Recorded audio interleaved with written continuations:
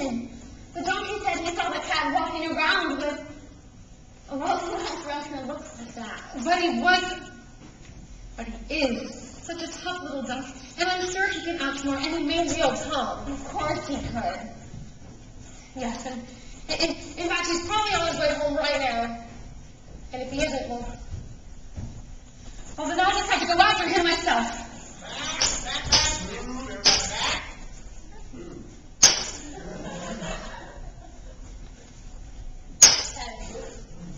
So tell me, Ida, it has been one week since your son went missing. How are you bearing up? Can you manage a two for the camera?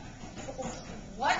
Just let me handle this, dear. Now, uh, which do you think is my best side? Terrific, what is this? Zoom in for the headshot. Confusion, anguish, matrimony or the squat. And let's, and let's up for the reaction shot. This here is from America's Most Feathered. There's been a feature. Going to one up on the Pelicans. now, uh, we're all in a very deep state of emotional shock and turmoil. There have been rumors of farmer bullying. Do you believe that your son was abducted or that he ran away to escape his persecutors? What are you saying? That's good, all right. That's defensive, yet emotional. And anger. Does not care. Why can't you just leave us alone? Yes, very good.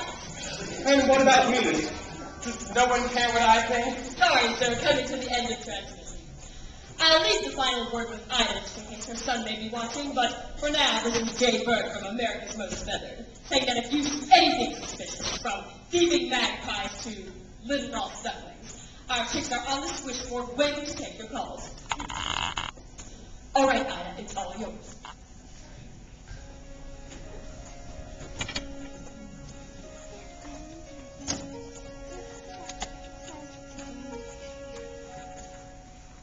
Every time I turn around, I expect you to appear. Everyone may call my name, but it's your voice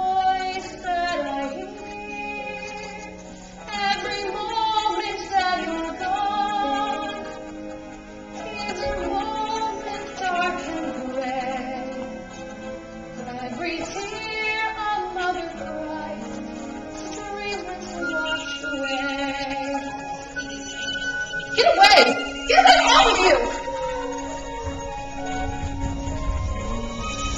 Every day may seem to be more empty than the last. Everywhere the sun once shone,